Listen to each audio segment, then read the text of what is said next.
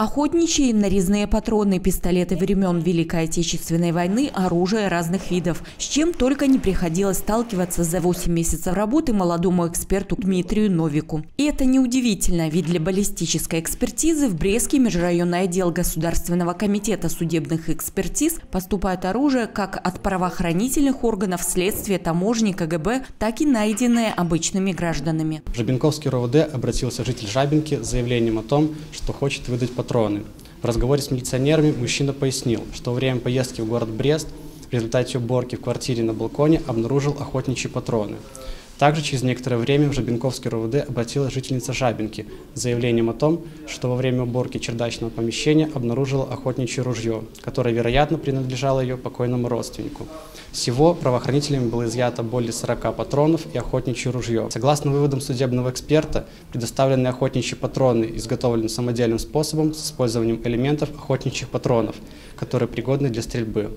Предоставленное охотничье ружье является ружьем ТОЗ-1 16 калибра, которое является ручным стрелковым гладкоствольным огнестрельным оружием.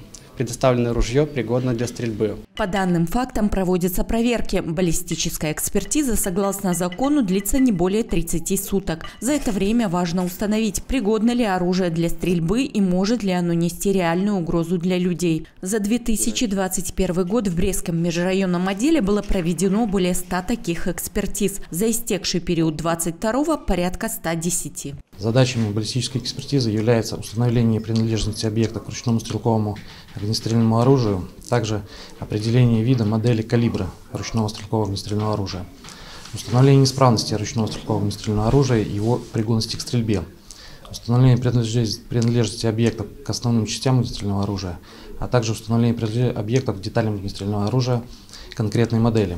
При обнаружении патронов или оружия специалисты настоятельно рекомендуют немедленно сообщить об этом в правоохранительные органы. Ведь это может быть не только опасно, но и грозит реальной уголовной ответственностью. Людмила Лагодич, Андрей Щерба, Юрий Лимонтович, телекомпания Бук-ТВ.